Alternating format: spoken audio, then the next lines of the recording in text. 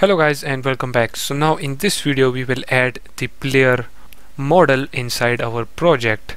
So you can use whatever player model you want but if you want to use the same model as I am using so just go ahead and open up your browser and then search for mixamo.com right here you can sign up for free or just simply log in once you log in in this website as you can see at the top right here you will have two options. The first one is the characters and the second one is the animations. So let's go ahead and click on characters. And right here as you can see there are different characters. Let me change the filter right here to 96 per page.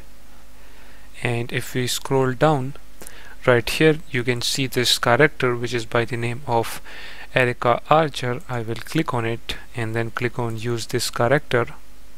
And now it will load the character right here. And guys if you notice right here there is this second character which is by the same name but as you can see it is with the bow and arrow. So you don't need to download that. Just simply download the Erica Archer which is right here as you can see.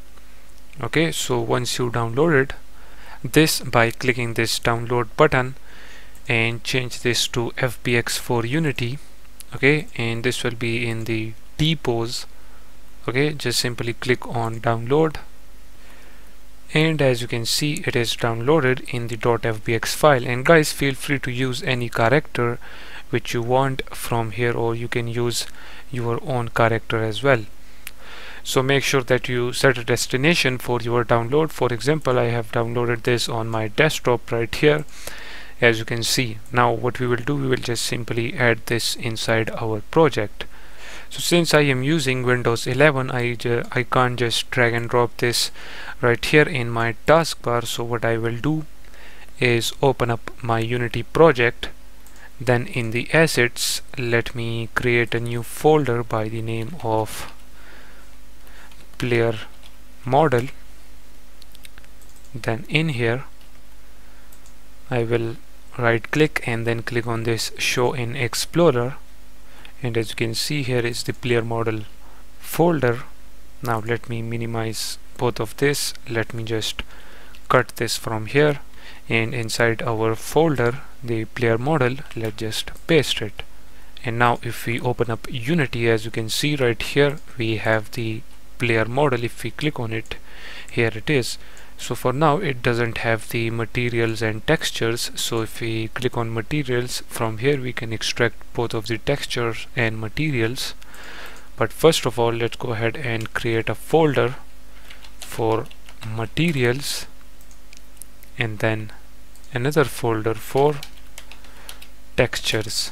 Now if we click on the player.fbx file right here first of all we will be extracting the textures okay and you will do the same.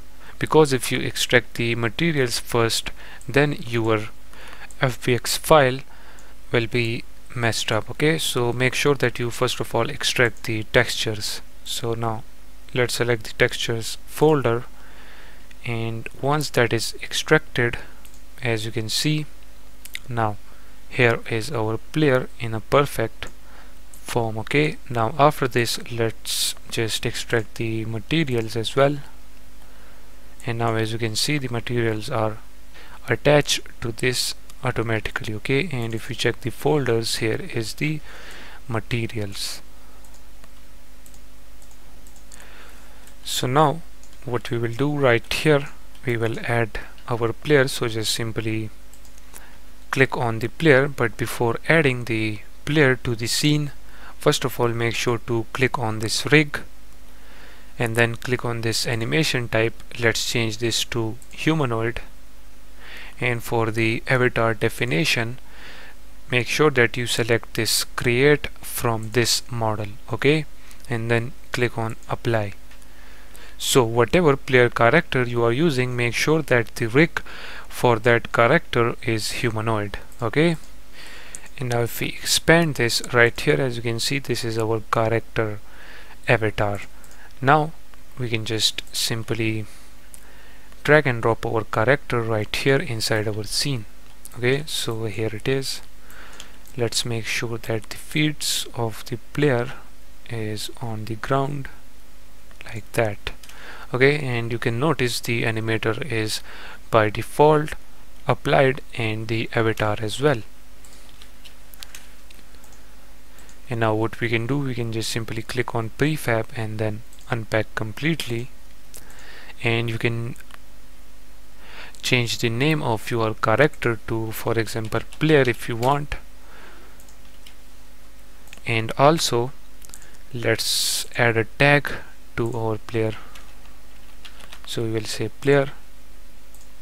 And if you click on it here it is player. And also let's add a layer to our player as well. So we will say player. And now if we click on layers here is the player layer.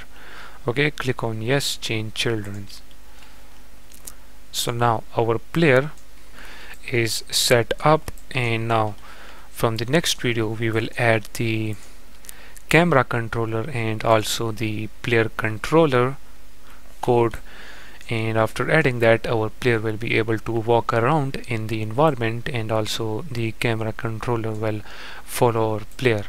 Okay? So that is for the future. Let's end this video right here